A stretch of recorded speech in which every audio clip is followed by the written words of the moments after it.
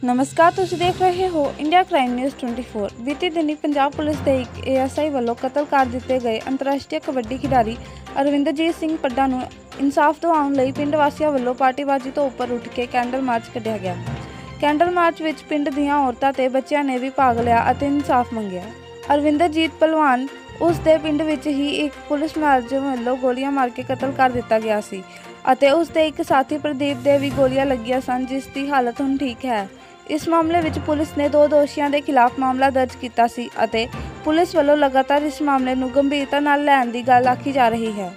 ਘਰ ਪਰਿਵਾਰ ਅਤੇ ਕਬੱਡੀ ਪ੍ਰੇਮੀਆਂ ਵੱਲੋਂ ਪਰਿਵਾਰ ਨੂੰ ਇਨਸਾਫ ਦਿਵਾਉਣ ਨੂੰ ਲੈ ਕੇ ਲਗਾਤਾਰ ਆਪਣੀ ਗੱਲ ਰੱਖੀ ਜਾ ਰਹੀ ਹੈ। ਇਸ ਮਾਮਲੇ ਵਿੱਚ ਹਲਕਾ ਵਿਧਾਇਕ ਸੁਖਪਾਲ ਸਿੰਘ ਖਹਿਰਾ ਅਤੇ ਨਾਰਥ ਇੰਡੀਅਨ ਕਬੱਡੀ ਫੈਡਰੇਸ਼ਨ ਦੇ ਪ੍ਰਧਾਨ ਸੂਰਜਨ ਸਿੰਘ ਚੱਠਾ ਸਾਂਝੇ ਤੌਰ ਤੇ ਪ੍ਰੈਸ ਕਾਨਫਰੰਸ ਕਰ ਚੁੱਕੇ ਹਨ ਅਤੇ ਸੁਖਪਾਲ ਖਹਿਰਾ ਨੇ ਮੈਂ ਵੀ ਹਾਂ, ਅਰਵਿੰਦ ਮੁਹਿੰਮ ਦੀ ਸ਼ੁਰੂਆਤ ਕਰ ਦਿੱਤੀ ਹੈ। ਜਿਸ ਨੂੰ ਲੈ ਕੇ ਉਹ ਲਗਾਤਾਰ ਸੋਸ਼ਲ ਮੀਡੀਆ ਉੱਪਰ ਆਪਣੀ ਪ੍ਰਤੀਕਿਰਿਆ ਸਾਂਝੀ ਕਰ ਰਹੇ ਹਨ। ਸੁਖਪਾਲ ਖਹਿਰਾ ਵੱਲੋਂ ਜਲੰਧਰ ਵਿੱਚ 25 ਮਈ ਨੂੰ ਕੈਂਡਲ ਮਾਰਚ ਕੱਢਿਆ ਜਾ ਰਿਹਾ ਹੈ।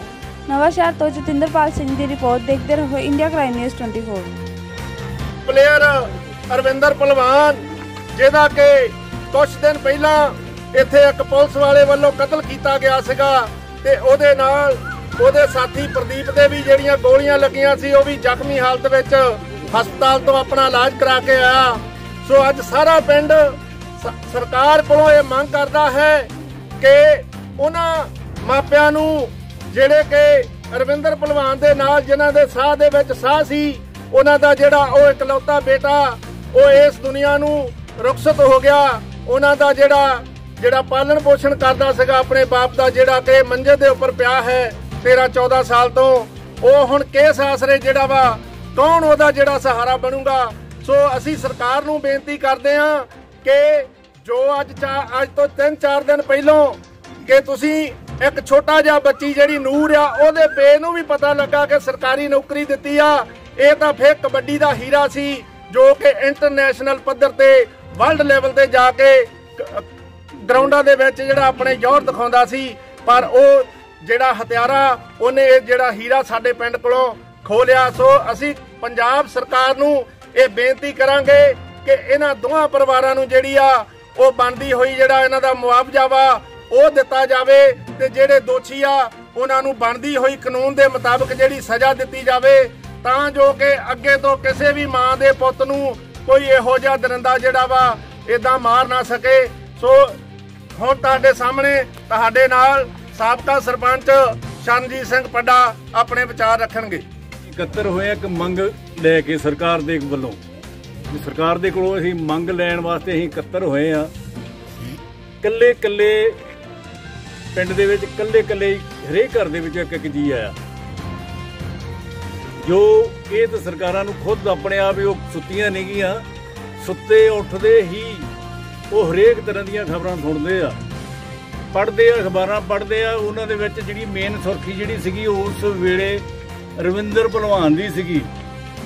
ਤੇ ਵਰਲਡ ਵਾਈਜ਼ ਸਪੋਰਟਸ ਦੇ ਨਾਲ ਸੰਬੰਧਿਤ, ਕਬੱਡੀ ਨਾਲ ਸੰਬੰਧਿਤ ਜਿੰਨੇ ਵੀ ਖਿਡਾਰੀ, ਵੀਰ, ਕਲੱਬਾਂ, ਸਾਰਿਆਂ ਨੇ ਇੱਕ ਵੱਡਿਓ ਯੁੱਟ ਹੋ ਕੇ ਇਸ ਚੀਜ਼ ਦੀ ਨਿੰਦਿਆ ਕੀਤੀ ਸੀਗੀ। ਇਹ ਸੁੱਤੀ ਸਰਕਾਰ ਨੂੰ ਮੈਂ ਸਿੱਧੀ ਇੱਕ ਇੱਕ ਗੱਲ ਕਹਿਣੀ ਚਾਹੁੰਦਾ ਵੀ ਇਹ ਸੁੱਤੀ ਸਰਕਾਰ ਨੂੰ ਜਾਗਣਾ ਚਾਹੀਦਾ ਸੀ। ਉਸ ਵੇਲੇ ਘੱਟ ਤੋਂ ਘੱਟ ਜਿਹੜਾ ਹੈਗਾ, ਕੈਪਟਨ ਅਮਰਿੰਦਰ ਸਿੰਘ ਜੀ ਨੂੰ ਆਪਣਾ ਜਿਹੜਾ ਅਫਸੋਸ ਜ਼ਾਹਰ ਕਰਨਾ ਚਾਹੀਦਾ ਸੀ, ਭਰੋਸਾ ਦੇਣਾ ਚਾਹੀਦਾ ਸੀ ਵੀ ਅਸੀਂ ਇਹਨਾਂ, ਉਹਨਾਂ ਦੋਸ਼ੀਆਂ ਨੂੰ ਸਜ਼ਾਵਾਂ ਵਾਸਤੇ ਉਹਨਾਂ ਨੇ ਸਭ ਕੁਝ ਕਰ ਦਿੱਤਾ, ਹੋਣੀਆਂ ਆ।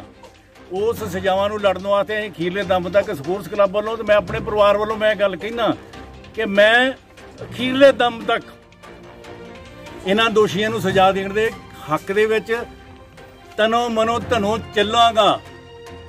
ਇਹ ਮੈਂ ਦੂਸਰੀ ਵਾਰੀ ਇਹ ਗੱਲ ਕਹਿਣਾ ਪਹਿਲਾਂ ਮੈਂ ਗੁਰਦੁਆਰੇ, ਗੁਰਦੁਆਰਾ ਸਾਹਿਬ ਵਿੱਚ ਵੀ ਇਹ ਗੱਲ ਕੀਤੀ ਸੀ। ਹੁਣ ਸਾਰੇ ਹੀ ਵੀਰਾਂ ਦਾ ਅਸੀਂ ਮੈਂ ਮਾਸਟਰ ਸਿੰਦਾ ਛਿੰਦਾ ਸਿੰਘ ਜੀ ਦਾ ਬਹੁਤ ਹੀ ਧੰਨ- ਧੰਨਵਾਦੀ ਆ ਜਿਨ੍ਹਾਂ ਨੇ ਕੱਲੀ ਕੱਲੀ ਗੱਲ ਜਿਹੜੀ ਆ ਨਿਚੋੜ ਕੱਢ ਕੇ, ਉਹ ਜਿਹੜੀ ਆ, ਉਹ ਇਹ ਜਿਹੜੇ ਬੋੜੇ ਕੰਨਾਂ ਵਿੱਚ ਪਾਉਣ ਦੀ ਕੋਸ਼ਿਸ਼ ਕੀਤੀ ਆ, ਇਹ ਬੋੜੇ ਕੰਨ ਕਿਹੜੇ ਵੇਲੇ ਖੁੱਲਦੇ, ਕਿੱਦਾਂ ਖੁੱਲਦੇ, ਮੈਂ ਨਹੀਂ ਕਹਿ ਸਕਦਾ। ਮੈਂ ਤਾਂ ਆਪ ਸਬਜ਼ੀ ਦਾ ਲੈਣੀ ਆ, ਤੇ ਸਰਕਾਰ ਵੱਲੋਂ ਮੈਂ ਮੰਗ ਕਾਦੀ ਕਰਾਂ, ਉਹਨਾਂ ਨੂੰ ਉਹ ਤਾਂ ਸਾਡੀ ਸੁਣਨੀ ਨਹੀਂ ਡੇ ਉਹ ਸੁਣਦੇ ਹੁੰਦੇ, ਕਿਸੇ ਨਾ ਕਿਸੇ ਬੰਦੇ ਦੇ ਕੋਲ ਕੋਈ ਨਾ ਕੋਈ ਆਪਣੀ ਗੱਲ, ਆਪਣਾ ਉਹ ਗੱਲ ਭੇਜਦੇ ਵੀ, ਹਾਂ ਵੀ ਅਸੀਂ ਆ ਗੱਲ ਕਰਾਂਗੇ। ਰਾਣਾ ਗੁਰਜੀਤ ਸਿੰਘ ਜੀ ਨੂੰ ਕੈਪਟਨ ਅਮਰਿੰਦਰ ਅਮਰਿੰਦਰ ਸਿੰਘ ਜੀ ਨੇ ਇਹ ਗੱਲ ਕਹੀ ਆ ਵੀ ਪਰਿਵਾਰ ਨੂੰ ਪੈਨਸ਼ਨ ਵਾਸਤੇ ਗੱਲ ਕੀਤੀ ਆ। ਬਾਕੀ ਉਹਨਾਂ ਦੀ ਗੱਲ ਜਿੱਥੋਂ ਤੱਕ ਚੱਲਦੀ ਆ, ਉਹ ਮਾਲਕ ਜਾਣਦਾ। ਮੈਂ ਇੰਨਾ ਕਹਿੰਦਾ ਖਿਮਰਾ ਜੱਜ ਜਾਚਕਾਂ ਸਾਰੇ ਨਗਰ ਨਿਵਾਸੀਆਂ ਦਾ ਬਹੁਤ ਬਹੁਤ ਧੰਨਵਾਦੀ ਵਾਹਿਗੁਰੂ।